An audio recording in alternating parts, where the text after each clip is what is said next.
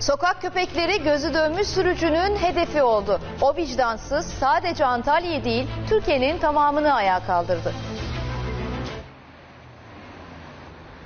Bomboş yolda aracını bilerek sokak köpeklerinin üstüne sürdü. Biri ezilmekten son anda kurtuldu. Ancak arkadaşı o kadar şanslı değildi. Vicdansızın son anda yaptığı manevrayla ezildi. Herkesi isyan ettiren o anlarda acı çeken köpeğin yanına dostları koştu.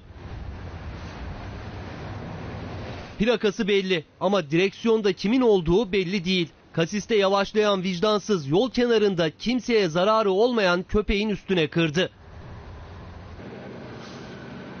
Başına gelecekleri anlayan siyah beyaz hayvan son anda kaçarak kurtuldu. Ancak direksiyondaki katil amacına ulaşamamıştı. İleride yol bitmesine rağmen vazgeçmedi. Otomobili kovalamaya çalışan siyah köpeğin üstüne kırdı. Ani bir manevrayla ezdi. Vicdansız köpek katili hiçbir şey olmamış gibi oradan uzaklaştı. Acı çeken hayvanın çığlıklarına diğer köpekler koştu. Başta hayvanseverler olmak üzere herkesin vicdanını sızlatan bu anlar ekipleri de harekete geçirdi. Bu görüntülerden yola çıkan polis acımasız sürücünün peşinde.